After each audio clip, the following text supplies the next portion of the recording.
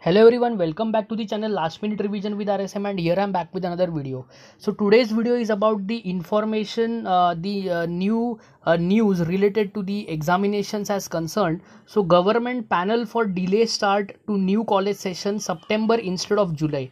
So they were planning to have their new academic calendar from the month of July but this but due to the lockdown situation due to the covid nineteen काफ़ी सारे problems uh, अभी arise हो रहे हैं। इसीलिए ये जो session है एकेडमिक जो सेशन होगा अगला सेशन 2021 का एकेडमिक ईयर जो है वो पहले जुलाई में स्टार्ट करना चाहिए ऐसा बोला जा रहा था।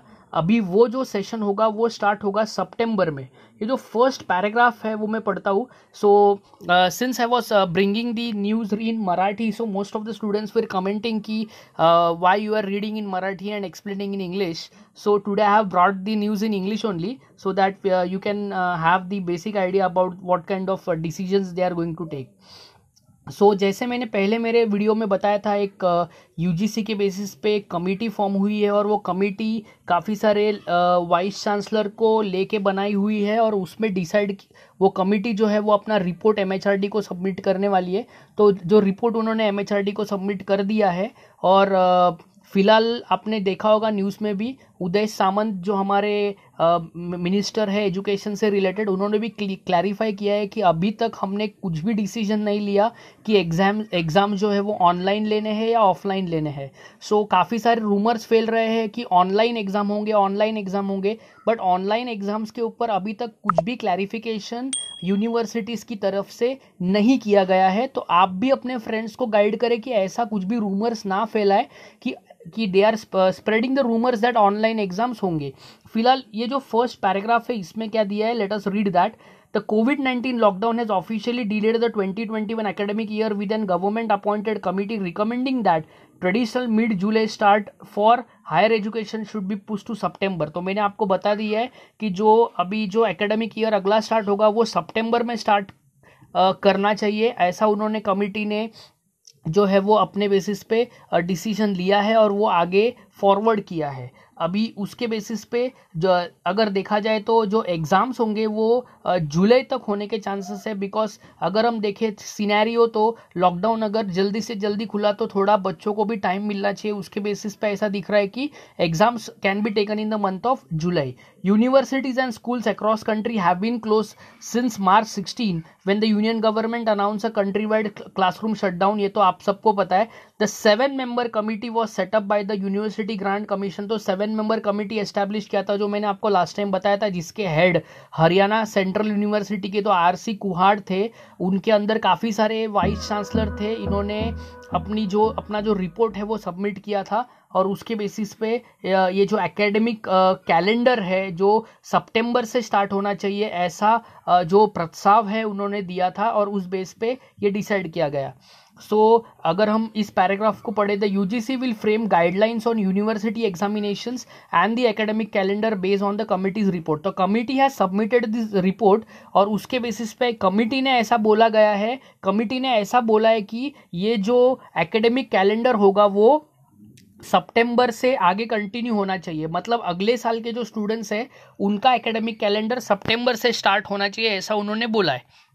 अभी यूजीसी उसी बेसिस पे देखेगा कि एग्जैक्टली exactly ऐसा सब फॉलो हो सकता है कि नहीं एंड उसके बेस पे सारे यूनिवर्सिटीज़ को इन्फॉर्म किया जाएगा कि ये जो एकेडमिक कैलेंडर है, ये सितंबर से फॉलो होना चाहिए। ऐसा यूनिवर्सिटीज़ को UGC will provide the guidelines तो अगर हम कमिटी की बात करें जो कमिटी है जो मैंने ऑलरेडी आपके साथ डिस्कस कर लिया है एंड अगर, हम इसमें बात करें तो we have the committee recommendation if and when accepted by the UGC would mean that the union government would have to approach the supreme court to seek extension अभी कुछ ऐसे स्ट्रीम्स है जहाँ पे सिलेबस कंप्लीशन के लिए extension लेने की ज़रूरत पड़ेगी। तो वैसे स्ट्रीम्स uh, को सुप्रीम कोर्ट का परमिशन लेना पड़ेगा। जैसे यहाँ पे मेडिसिन या मेडिकल फ़ील्ड का मेडिकल फ़ील्ड के जो प्रोग्राम्स है उसके बारे में बताया है। सो so, उसके बारे में अगर हम बात करें तो they can take the permission of supreme court accordingly another committee अभी ये काफ़ी इंपॉर्टेंट है, जो ऑनलाइन एग्जामिनेशन के बारे में बच्चे काफ़ी कंफ्यूज है। ऐसे बहुत सारे रूमर स्प्रेड हो रहे हैं कि अभी एग्ज़ाम्स ऑनलाइन होंगे। बट मैं आपको क्लैरिफाई करना चाहता हूँ कि अभी तक कुछ भी ऐसा डिसीज़न लिया नहीं गया है। कुछ लोग तो ऐसी बातें फैला रहे कि एग्ज़ाम्स नहीं होंगे। कुछ लोग ऐसी बातें फैला रहे कि एग्ज़ाम्स ऑनलाइन होंगे। तो let me make very clear that exams online होंगे या एग्ज़ाम्स ऑफलाइन होंगे, उसके ऊपर कोई भी डिसीज़न अभी नहीं लिया है। बट अगर देखा जाए तो इसमें इन्होंने क्लियर कट मेंशन किया है। Another committee set up by the UGC to make recommendations on online education has advised against asking universities to conduct online examination mandatorily given the diversity local environment composition and students तो जिस base पे अगर favourable होगा तो वो online ले सकते हैं। लेकिन अभी उसमें एग्जैक्ट डिसीज़न नहीं लिया गया है कि ऑनलाइन लेना ही चाहिए।